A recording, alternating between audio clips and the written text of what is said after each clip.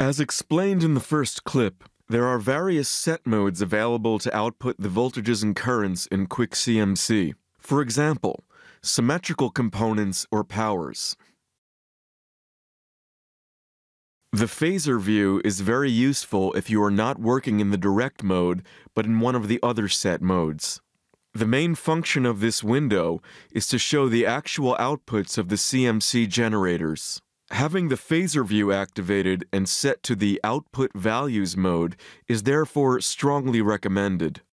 By right-clicking on the phasor view, you can always switch to other display modes to show calculated components in relation to the values you set in the test view. The impedance view window is only relevant if you choose one of the impedance set modes in the test view window of QuickCMC. In this case, the impedance view shows you the fault impedance that you have set in the analog outputs table, but you can also set the values by clicking on the impedance plane. The characteristic shown in the impedance plane is taken from the data set in the test object.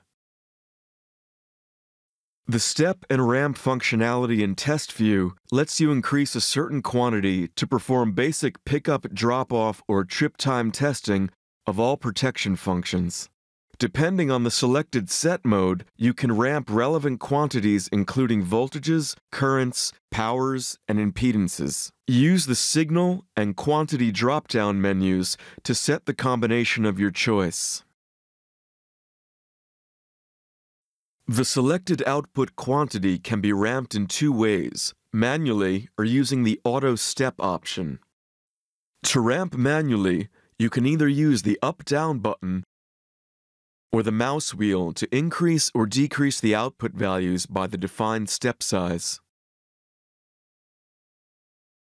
To ramp automatically, select the Auto Step checkbox. To start the ramp output, click the up-down button first. The output values are now automatically increased or decreased according to the defined step size and time.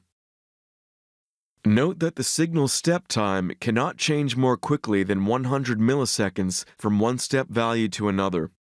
The ramp will stop when the trigger condition is met or when the up-down buttons are clicked again. Once a ramp is stopped, the last generated ramp value is held and statically output till the CMC stops the injection by manually releasing the start button or using the automatic switch off option. Select the pulse ramping option when testing the values of a multifunctional protection relay with overlapping characteristics or functions. A pulse ramp inserts a reset state in between two consecutive ramp pulses. In this way, for example, the second element of an overcurrent protection can be tested. This is of particular use as we do not need to deactivate the pickup function of the relay. In terms of functionality, Pulse ramping only works when the Auto Step checkbox is selected.